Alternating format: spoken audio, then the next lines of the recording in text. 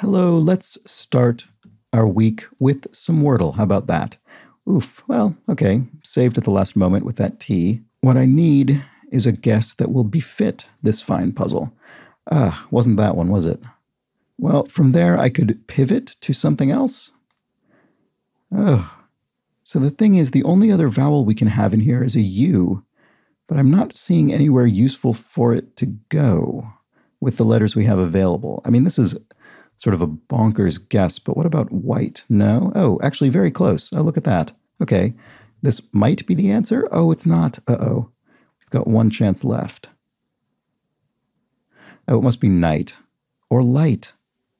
And they're kind of opposites. um, I don't know. Light, please be the one. Yes, it is.